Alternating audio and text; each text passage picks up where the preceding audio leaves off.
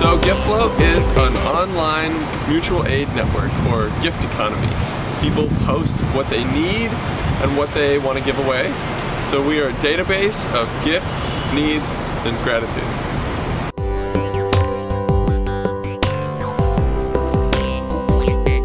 Uh, we have about 400 members in Connecticut, about 1,600 worldwide, mostly American.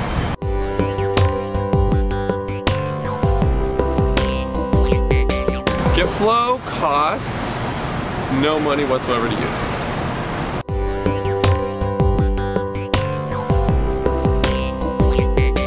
You interact with people in your neighborhood in a very trusting way. You give to them, they give to you, you help each other out. Uh, it's a community where you're supposed to express your needs and ask for, you know, um, what you're missing and um, and also one in which you give to people and you don't ask for anything in return from them. So you're paying it forward to the community and you're expressing your faith in the community that they will meet your needs in return.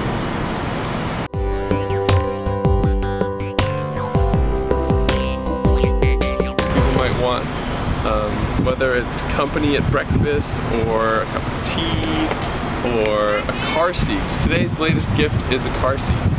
Um, and the thing is, these things may sound kind of random, but if we build a bigger and bigger database, you know, the more gifts, the more needs, the greater the potential for matches.